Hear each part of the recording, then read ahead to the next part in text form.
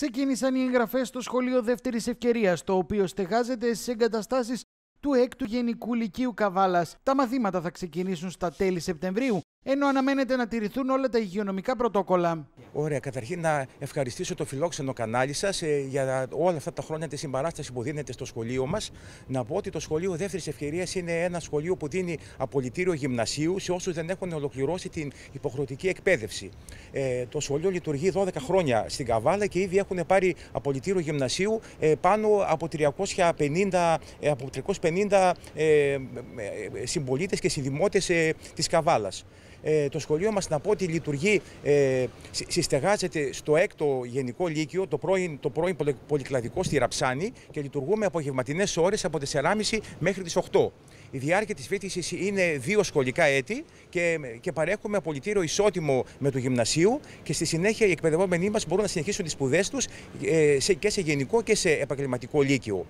Ε, να πω ότι ειδικά τη, τη σημερινή εποχή που πλέον ε, κανείς το να έχει ολοκληρώσει την υποχρεωτική εκπαίδευση θεωρείται απαραίτητο για να μπορέσει ή να βρει εργασία ή ακόμα και να διατηρήσει και να ε, εξελίξει τη θέση του στην εργασία που έχει. Νομίζω πως ε, πέρα από το μαθησιακό όφελος που έχουν οι μαθητές μας, υπάρχει και επαγγελματικό και, ε, και ευρύτερα κοινωνικό όφελος. Πότε ξεκινάει τα μαθήματα του σχολείου δεύτερης ε, ευκαιρίας; Τα μαθήματα ξεκινούν τέλη του μήνα. Όλο το Σεπτέμβριο δεχόμαστε εγγραφές ε, μέχρι τέλη του μήνα. Ε, ε, κάθε απόγευμα 4.30 και μετά ε, στα γραφεία του σχολείου μας είπαμε στο 6ο Πολυκλαδικό Λύκειο. Ε, το τηλέφωνο του σχολείου μας είναι το 2510 245 001.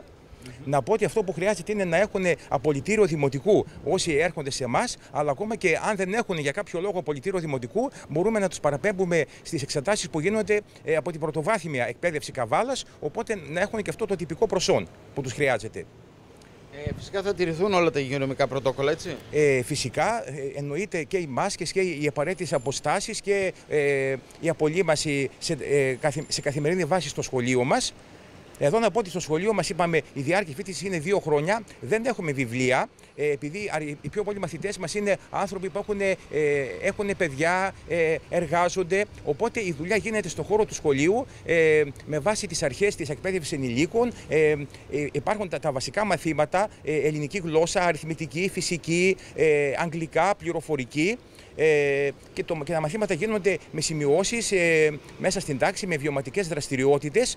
Μπορώ να πω ότι ε, ακόμα και όσοι ενήλικες ε, διστάζανε να έρθουν στο σχολείο μας, ε, αυτό που λέω πάντοτε, αρκεί να περάσουν την πόρτα του σχολείου να μας γνωρίσουν και ε, να ξεπεράσουν τους όποιους δισταγμούς έχουν. Μπορώ να πω ότι όλα αυτά τα χρόνια, πολλές φορές μου έχει τύχει να δω, έρχεται εγγονός να γράψει τον παππού του, έρχεται για παράδειγμα το παιδί να, ε, να, να γράψει τη μητέρα του και μπορώ να πω ότι το σχολείο μας λειτουργεί σε μια μεγάλη οικογένεια όλα τα χρόνια αυτά.